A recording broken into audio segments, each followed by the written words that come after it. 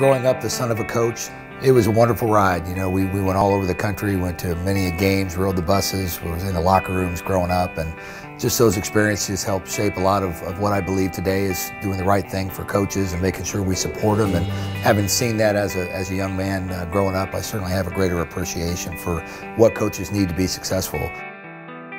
They live and die every win and every loss, and they bring that home, and it's something that you have to live with.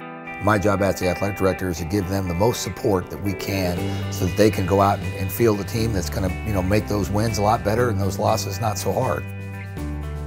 I can't be more grateful to uh, my father for, for all the opportunities that he provided me along the way uh, in the world of athletics. And I think the perspectives, the relationships, the people that it's not anywhere in the country because of moving around so much that, that I don't know someone that's either connected to you know our family through coaching or, or connected to to our family through the administrative you know, world, and, and so that's a big benefit to me uh, in my career.